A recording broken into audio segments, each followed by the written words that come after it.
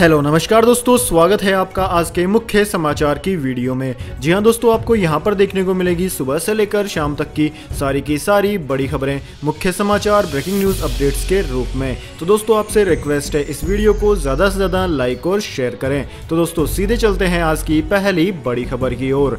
चंद्रयान दो, लैंडर विक्रम की mission life हो रही है खत्म, संपर्क का आखिरी दिन है आज। जी हाँ दोस्तों, चंद्रयान दो मिशन के तहत चाँद पर भेजे गए विक्रम लैंडर और प्रज्ञान रोवर से भारतीय अंतरिक्ष अनुसंधान संगठन इसरो के वैज्ञानिकों का संपर्क अभी तक नहीं हो पाया है। 22 जुलाई को लॉन्च किए गए चंद्रयान दो मिशन के तहत 7 सितंबर को विक्रम लैंडर को चाँद की सतह पर लैंड कराया जाना था, लेकिन चाँद की सतह से कुछ किलोमीटर ऊपर ही उससे संपर्क टूट गया था। अब आज विक्रम लैंडर से संपर्क का अंतिम दिन है। अगर आज इसरो के वैज्ञानिक उसमें सफल नहीं हो पाए तो शायद उससे कभी संपर्क ना हो पाएगा। इसके इसके पीछे का कारण है कि इसकी मिशन लाइफ महज 14 दिन की थी, जो कि आज खत्म हो रही है। इसके बाद दोस्तों, रुक करते हैं आज की अगली बड़ी खबर का। शेयर मार्केट ने तोड़ा अपना ही रिकॉर्ड, रच दिया इतिहास। पहली बार दो हज़ार दो सौ चौरासी अंक उछला।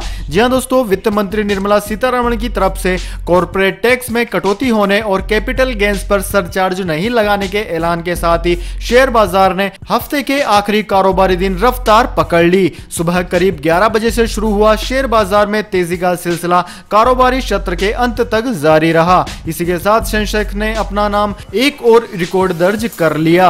कारोबारी सत्र के दौरान दोपहर करीब ढाई बजे तक सेंसेक्स ने पिछले सभी रिकॉर्ड तोड़ते हुए दो अंक की तेज़ी हासिल की। यह एक दिन में अब तक की सबसे बड़ी उछाल है।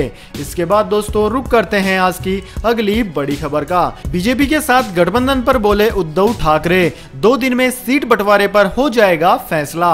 जी हाँ दोस्तों, महाराष्ट्र में होने वाले विधानसभा चुनाव चुनाव में बीजेपी और शिवसेना के बीच गठबंधन पर पार्टी प्रमुख उद्धव ठाकरे ने शुक्रवार को प्रेस कॉन्फ्रेंस की।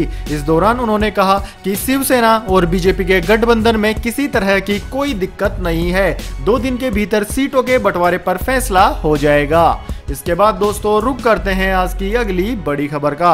हाउडी मोदी इवेंट के विरोध के लिए कंगाल पाकिस्तान मांग रहा है चंदा, बनाया फर्जी अकाउंट। जी हाँ दोस्तों, प्रधानमंत्री नरेंद्र मोदी का 22 सितंबर को अमेरिका के ह्यूस्टन में मेगा इवेंट होने जा रहा है। हाउडी मोदी नाम से इस इवेंट में पीएम मोदी पचास हज़ार भारतीय मूल के अमेरिकी लोगों को संबोधित करेंगे। अमेरिका के राष्ट्रपति डोनाल्ड ट्रंप भी इस इवेंट में मौजूद रहेंगे। पाकिस्तान हाउडी मोदी इवेंट का विरोध कर रहा है। इस इवेंट का विरोध करने के लिए कंगाल पाकिस्तान सोशल मीडिया पर फर्जी अकाउंट बनाकर चंदा मांग रहा है। दोस्तों न्यूज़ चैनलों को मिली एक्सक्लूसिव जानकारी के मुताबिक पाकिस्तान पीएम मोदी के नाम पर पैसा कमाने की फिराक में है। इसके लिए बाकायदा एक पाकिस्तानी नागरिक ने एक फर्जी अकाउंट बनाया है। इस अकाउंट के ज़रिए न सिर्फ़ अमेरिका में रह रहे पाकिस्तानियों को विरोध प्रदर्शन के लिए जुटाया जा रहा है, बल्कि डोनेशन भी मांगी जा रही है। इसके बाद दोस्तों, रुक करते हैं आज की अगली बड़ी खबर। का। पाकिस्तान ने छात्राओं के लिए बुरका पहनने पर पाबंदी हटाई तो मंत्री और धर्मगुरु हो गए गुस्सा। जी हाँ दोस्तों, पाकिस्तान के खेबर पख्तूनख्वा प्रांत में छात्राओं के लिए बुरका या अबाया को अनिवार्य करने के फैसले को रद्द किया जाना देश के राजनेता व धर्मगुरु को रास नहीं आया है। उनका कहना है कि इस फैसले को फिर से बहाल किया जाए। खेबर पख्तूनख्वा प्रांत में छात्राओं के लिए बुरका पहनना अनिवार्य कर दिया गया था। इस फैसले के समर्थन में आवाज़ें उठी थी, लेकिन विरोध में उठी आवाज़ें ज़्यादा मुखर थी।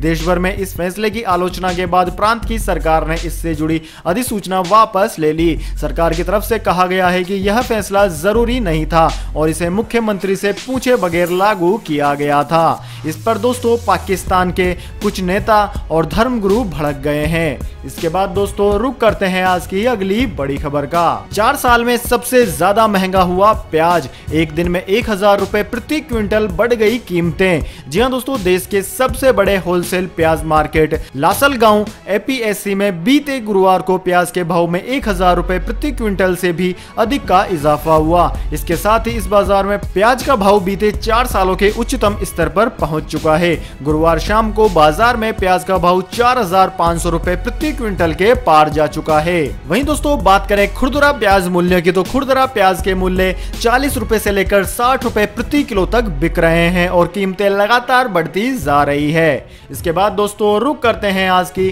अगली बड़ी खबर का।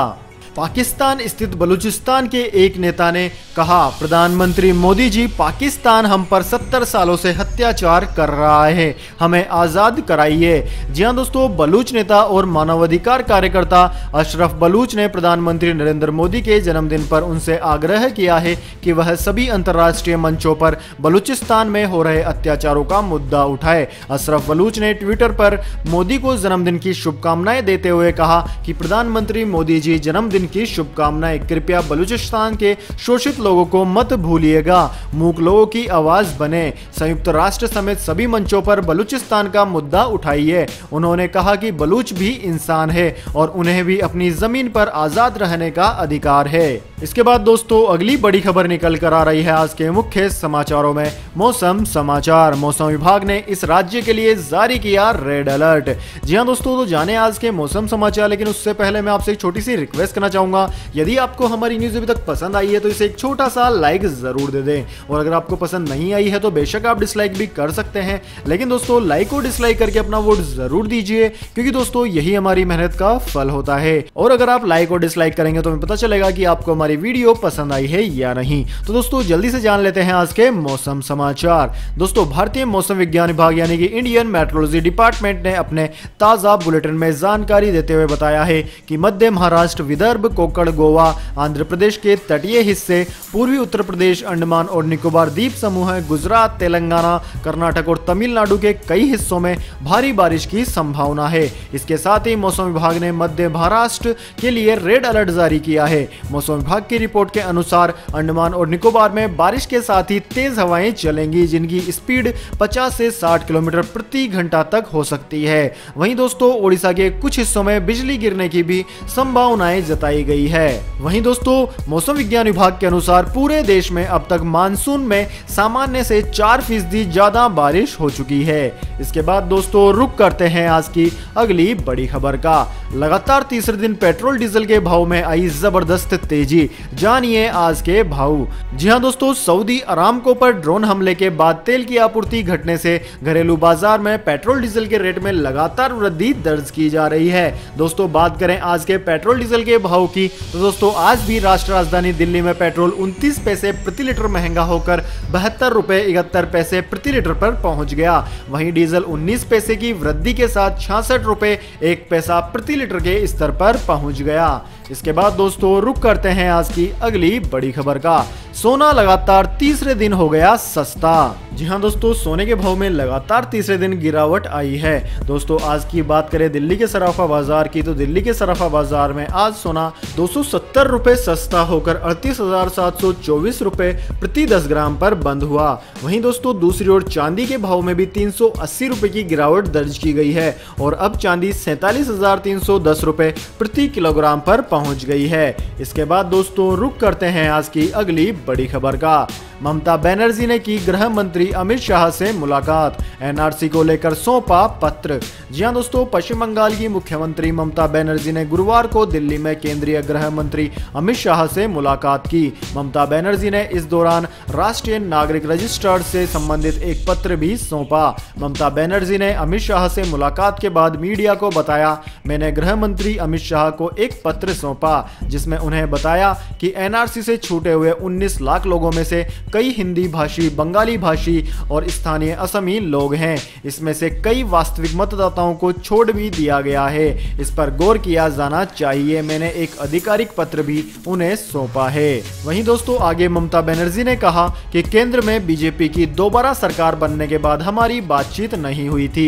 इसलिए गृह मंत्री अमित शाह से मिलने आई थी। दोस्तों, आपकी जानकारी के लिए बता दें, इससे पहले ममता बनर्जी पीएम नरेंद्र मोदी से भी मुलाकात कर चुकी हैं। इसके बाद दोस्तों, रुक करते हैं आज की अगली बड़ी खबर का। केंद्र के रोक लगाने के बाद ऑनलाइन ई सिगरेट बिक्री पर एफडीए का नोटिस। जी हाँ दोस्तों, सरकार की तरफ़ से देश भर में ई सिगरेट और ई हुक्का पर रोक लगाए जाने के एक दिन बाद Maharashtra food and drugs administration online cigarette बिक्री पर नोटिस जारी कर चुका है। एफडीए की तरफ़ से दिए गए नोटिस में कहा गया है कि ऑनलाइन ई सिगरेट की बिक्री करने वाली कंपनियों के खिलाफ कड़ा कदम उठाया जाएगा। तो दोस्तों, यह थे आज के मुख्य समाचार। अगर दोस्तों आपको वीडियो पसंद आई है तो आप हमारे यूट्यूब चैनल हिंद न्यूज़ को लाइक, शेयर और सब्सक्राइब ज़रूर करें। और अगर दोस्तों आपको वीडियो से रिलेटेड कोई भी जानकारी चाहिए या फिर किसी चीज़ का आप स्पेशल न्यूज़ चाहते हैं तो हमें कमेंट करके ज़रूर बताएँ। दोस्तों, आपकी मनोकामना ज़रूर पूरी की जाएगी। धन्यवाद। वंदे मातरम। जय हिंद, जय भारत।